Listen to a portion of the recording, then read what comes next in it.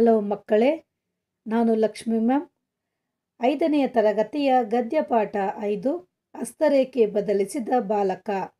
ಈ ಪಾಠದ ಮುಂದುವರೆದ ಭಾಗ, ಮಕ್ಕಳೇ, ಹಿಂದಿನ ತರಗತಿಯಲ್ಲಿ ನಾವು ತಾಯಿ ದಕ್ಷಿ ಮತ್ತು ಅವಳ ಮಗ ಗುರುಕುಲಕ್ಕೆ ಬಂದು ಗುರುಗಳ ಹತ್ತಿರ ತನ್ನ ಮಗನಿಗೆ ವಿದ್ಯಾದಾನ ಮಾಡಿ ಎಂದು ಬೇಡಿಕೊಂಡ ರೀತಿಯನ್ನು ತಿಳಿದುಕೊಂಡೆವು. ಈಗ ಮುಂದಿನ ವಿವರಣೆಯನ್ನು ತಿಳಿದುಕೊಳ್ಳೋಣ. ಸ್ವಲ್ಪ ಸಮಯದ ನಂತರ ಬಾಲಕ ಮತ್ತೆ ಅಲ್ಲಿಗೆ ಬಂದನು. ಏಕೆ ಬಂದೆ ಎಂದು ಗುರುಗಳು ಗಡುಸಾಗಿ ಕೇಳಿದರು. ಗುರುಗಳೇ, ವಿದ್ಯಾರೇಖೆ ಹೇಗಿರುತ್ತದೆ ಎಂದು ಬಾಲಕ ವಿನೀತನಾಗಿ ಕೇಳಿದನು. ಗುರುಗಳು, ಬಳಿಯಿದ್ದ ಒಬ್ಬ ಬಾಲಕನನ್ನು ಕರೆದರು. ಅವನ ಕೈ ಹಿಡಿದು, ಇಗೋ ನೋಡು, ಇದು ವಿದ್ಯಾರೇಖೆ. ಅದು ನಿನಗೆ ಇಲ್ಲ, ಹೋಗು ಎಂದರು. ಬಾಲಕ ನಿರಾಶನಾಗಿ ಹೊರಬಂದ. ಹಲವು ಬಾರಿ ಕೈ ನೋಡಿದ, ಯೋಚಿಸಿದ, ತಕ್ಷಣ ಬೆಣಚುಕಲ್ಲಿನಿಂದ ಗಟ್ಟಿಯಾಗಿ ವಿದ್ಯಾರೇಖೆಯನ್ನು ಕೈ ಮೇಲೆ ಕೊರೆದುಕೊಂಡನು. ಚರ್ಮ ಕಿತ್ತಿತು, ರಕ್ತ ಸುರಿಯಲು ಆರಂಭಿಸಿತು. ಆದರೂ ಭಯ ಪಡಲಿಲ್ಲ, ದಡದಡನೆ ಗುರುಕುಲದ ಒಳಗೆ ಹೊಕ್ಕ. ಇದರ ವಿವರಣೆ. ಸ್ವಲ್ಪ ಸಮಯದ ನಂತರ ಬಾಲಕನು ಗುರುಗಳ ಹತ್ತಿರ ಬರುತ್ತಾನೆ.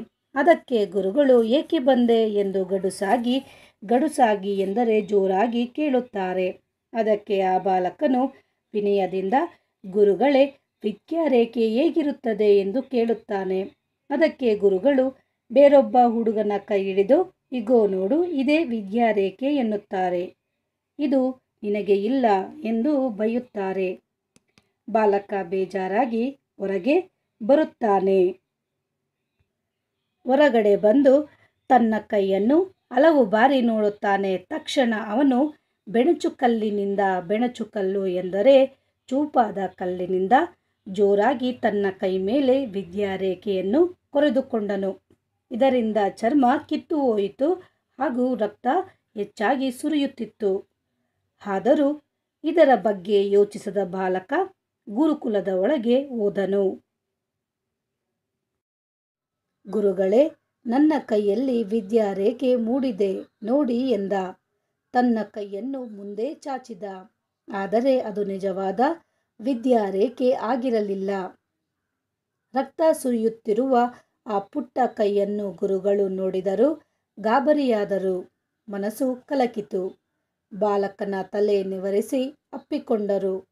ಅವನಲ್ಲಿ ವಿದ್ಯೆ ಕಲಿಯುವ ಛಲವನ್ನು ಗುರುತಿಸಿದರು. ನಿನ್ನಂತಹ ಶಿಷ್ಯನಿಗೆ ಅಲ್ಲದೆ ಇನ್ಯಾರಿಗೂ ವಿದ್ಯಾದಾನ ಮಾಡಲಿ ಎಂದು ಕಣ್ಣೀರು ಸುರಿಸಿದರು. ಶಿಷ್ಯನನ್ನಾಗಿ ಸ್ವೀಕರಿಸಿದರು. ಈ ಬಾಲಕನೇ ಪಾಣಿನಿ. ಇದರ ವಿವರಣೆ, ಬಾಲಕ ಒಳಗೆ ಹೋಗಿ ಗುರುಗಳೇ, ನನ್ನ ಕೈಯಲ್ಲಿ ವಿದ್ಯಾರೇಖೆ ಬಂದಿದೆ ನೋಡಿ ಎಂದನು. ಆದರೆ ಅದು ನಿಜವಾದ ವಿದ್ಯಾರೇಖೆ ಆಗಿರಲಿಲ್ಲ. ರಕ್ತ ಸುರಿಯುತ್ತಿದ್ದನ್ನು ಕಂಡ ಗುರುಗಳು ಗಾಬರಿಗೊಂಡರು. ಹಾಗೂ ಅವರ ಮನಸ್ಸು ಕರಗಿತು. ಬಾಲಕನ ತಲೆಯನ್ನು ಸವರುತ್ತಾ ಅವನನ್ನು ತಬ್ಬಿಕೊಂಡರು.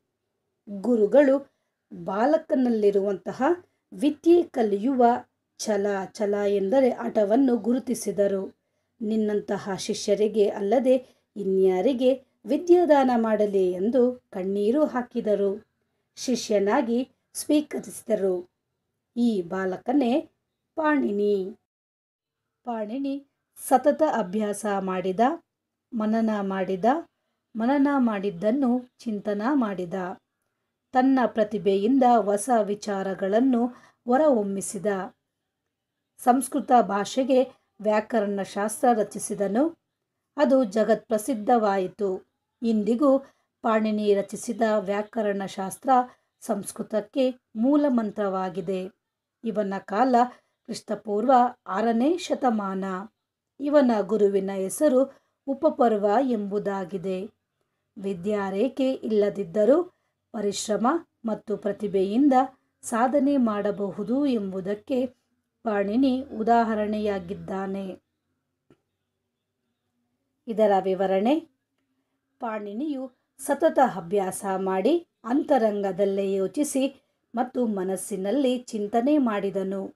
ನಂತರ ತನ್ನ ಪ್ರತಿಭೆಯಿಂದ ಹೊಸ ಹೊಸ ವಿಚಾರಗಳು ವಿಚಾರಗಳಂದರೆ ಹೊಸ ಹೊಸ ವಿಷಯಗಳನ್ನು ಹೊರಹಾಕಿದ ಹಾಗೂ ಸಂಸ್ಕೃತ ಭಾಷೆಗೆ ವ್ಯಾಕರಣ ರಚಿಸಿದನು. ಈ ವ್ಯಾಕರಣವು ಜಗತ್ತಿನಲ್ಲಿ ಪ್ರಸಿದ್ಧವಾಯಿತು.